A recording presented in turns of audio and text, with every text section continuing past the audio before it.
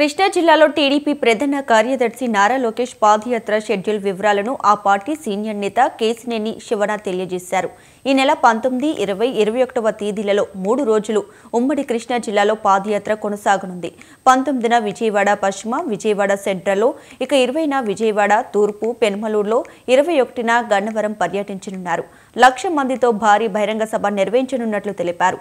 ఎంతో ప్రతిష్టాత్మకంగా ఉమ్మడి కృష్ణా జిల్లాలో ఏర్పాట్లు పూర్తయినట్లు కేసినేని శివనాథ్ తెలియజేశారు. లోకేష్ యాత్రను సక్సెస్ చేయాలని పార్టీ కార్యకర్తలకు ఆయన పిలుపునిచ్చారు. పశ్చిమ నియోజకవర్గంలో మధ్యాహ్నం రెండున్నరకి ప్రకాశం బ్యారేజ్ నుంచి ఎంటర్ అవబోతుంది.